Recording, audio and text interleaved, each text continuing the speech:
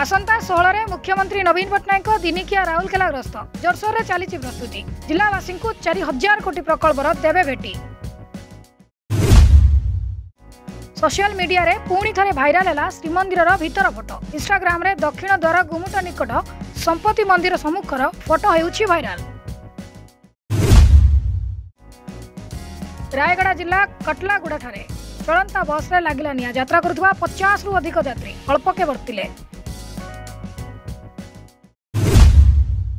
ଏଥର ସମସ୍ତ ସରକାରୀ କର୍ମଚାରୀଙ୍କ ପଦୋନ୍ନତି ପାଇଁ ବାର୍ଷିକ ସମ୍ପତ୍ତି ବିବରଣୀ ଦାଖଲ କରିବା ବାଧ୍ୟତାମୂଳକ ସାଧାରଣ ପ୍ରଶାସନ ବିଭାଗ ପକ୍ଷରୁ ଜାରି ରିଜଲ୍ୟୁସନରେ କରାଯାଇଛି ଉଲ୍ଲେଖ ଆଜି କଟିଆରେ ଆରମ୍ଭ ହୋଇଛି ଆନ୍ଧ୍ର ନିର୍ବାଚନ କୋଟିଆ ପଞ୍ଚାୟତର ପାଟୁସିନେରୀ ଗାଁରେ ଦୁଇ ଜଣ ପ୍ରାର୍ଥୀଙ୍କ ପାଇଁ ଚାଲିଛି ନିର୍ବାଚନ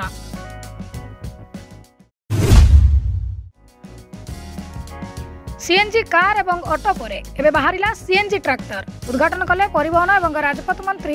নীতিন গডকরি লাভবান হেবে কৃষক গত বর্ষ কুলগাম জেলার বেসু অঞ্চলের জন বিজেপি কর্মী হত্যা ঘটনায় লস্কর আতঙ্কবাদী জহুর অহমদ রাঠোর গিরফ সাম্বা জেলার গিরফ কলা Jammu Kashmir police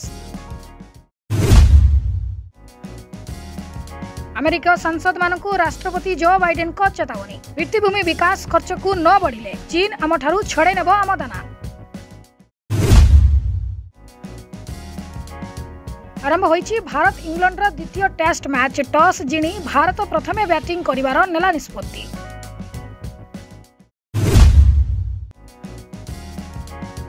Bollywood singer Jubin ନୌଟିଆଲଙ୍କ ବଦାନ୍ୟତା ଉତ୍ତରାଖଣ୍ଡର ଚମୋଲି ଜିଲ୍ଲାରେ ହିମସ୍କଳନରେ ପ୍ରଭାବିତ ପରିବାରକୁ করবে সাহায্য